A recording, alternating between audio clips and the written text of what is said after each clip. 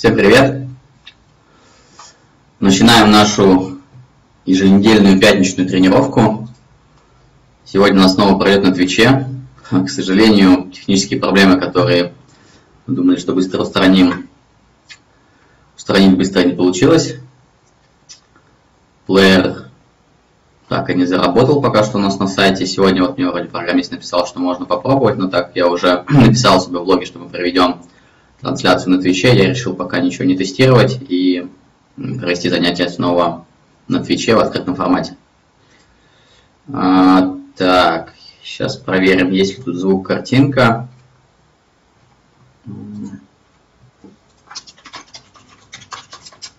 Напишите мне в чат Твича, наверное. Сейчас я его отдельно выведу.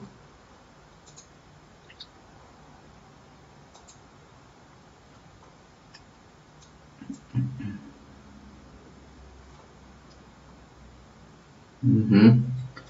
Вижу, что звук, картинка есть. Появились у нас первые зрители. Хорошо. Это хорошо. Ну, а сейчас я еще подожду минутку, пока с PokerAbility люди из, э, из чата тренировки подключатся. Мы будем начинать. Собственно, сегодня наша тема занятия та же самая, которая была на предыдущем занятии. Это разбор э, пак Simple Postflop. А, я спросил, какую позицию интереснее вам будет разобрать. Опять же, попросили разобрать СБ против ББ. Сегодня, скорее всего, у нас тренировка пройдет в два либо в три этапа. А, сначала мы разберем раздачу одного из наших учеников с ресурса Poker Ability. Потом мы разберем паки. Причем мы это будем делать несколько в ином формате, нежели то, как мы это делали на первых двух занятиях. Об этом я чуть позже скажу. И э, в третьей части занятия, если, если успеем, то я еще покатаю вживую. Так, э, ну давайте начинать. Вроде все уже подтянулись. Вроде все подтянулись. Так, сейчас. Сейчас, сейчас, сейчас, сейчас, сейчас. Будем начинать. Ну, давайте начнем с небольшой разминки. Я вот только перед самой тренировкой видел, что здесь были выложены какие-то раздачи. Сигнал 100 и, собственно говоря, Hero изолирует фиша неизвестного на MP3. Это получается еще у нас full ring или не full ring.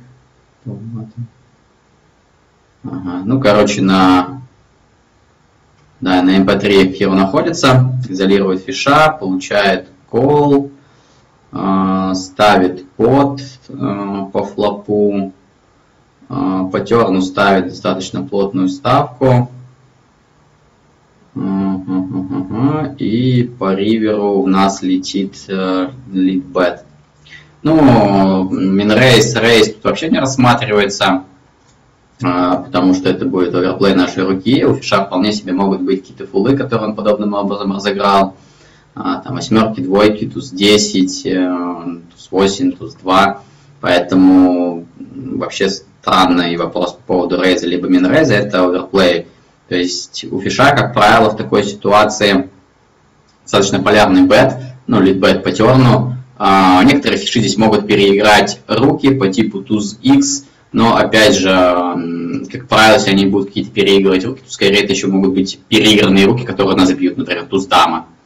Или там тот же самый туз валет для сплита. То есть, на самом деле, э, здесь для нас этот lead bet по риверу это не самое классное, что могло произойти, но с учетом того, что довольно много дро промазывало, прямое флеш-дро, там флеш-дро по терну еще некоторые доехало. ну, плюс все-таки фиш иногда может прощать какие-то руки в блеф, Здесь, естественно, фолд мы не будем рассматривать. Это не самый приятный колл, надо сказать, но в вакуум я, бы, я его нажимал. Ну, вот я бы его нажимал. А, опять же, по причине того, что, несмотря на то, что у меня здесь, безусловно, есть value комбинации сильнее нашей, а, фиши не очень часто их будут разыгрывать через лидбет, то есть мы можем дисконтировать часть фулов, которые он таким образом может играть. а, ну, опять же, дисконтировать часть туз дамы, например, или туз король, просто по причине того, что он может ожидать от нас фулами бету, бета по риверу, и, ну, соответственно, он будет готовить какой-то чек-пуш или чек-кол. Поэтому а, у него value range все-таки здесь ограничен, несмотря на то, что у него здесь есть руки сильнее, но при этом у него есть, естественно, промазавшие дро или какие-то руки, превращенные в блеф, поэтому здесь кол по риверу. Так, а, дальше. Открылся фиш. А, этот full ring тоже восьмерки, я так понимаю. Ага, трибет неизвестный. Ну, его изолейт трибет достаточно плотно сделан известный регуляр. Херу на котов и подколил. Ну, в принципе, с карманным дамом здесь нормальная игра. Не вижу смысла здесь сейчас 4 бетить. А, очень часто мы просто получим изоляционные какие-то пуши в нас, ну, то есть мы будем себя изолировать против лучших рук. Поэтому кол в позиции в. Если бы мы играли без позиции, там, где у нас более, а, ну, где у нас хуже реализация equity, из-за того, что у нас нет позиции, там уже чаще, чтобы без как я бы играл через окна 4 бет. В позиции же кол в порядке. А, кол в порядке, пум-пум, все улицы под вопросом, ну, по-моему, флоп тут без вопросов, то есть на треть пота мы, да, мы с дро не выкидываем никаких раскладов, ну, то есть у нас более чем хватает шансов банка против рейнджа бета, а, потер, но уже интересней, парень ставит крупную ставку, но это довольно сейчас распространенная линия, три подпотах поставить треть по флопу и влепить э, там две трети или там, 70% по терну, по терну,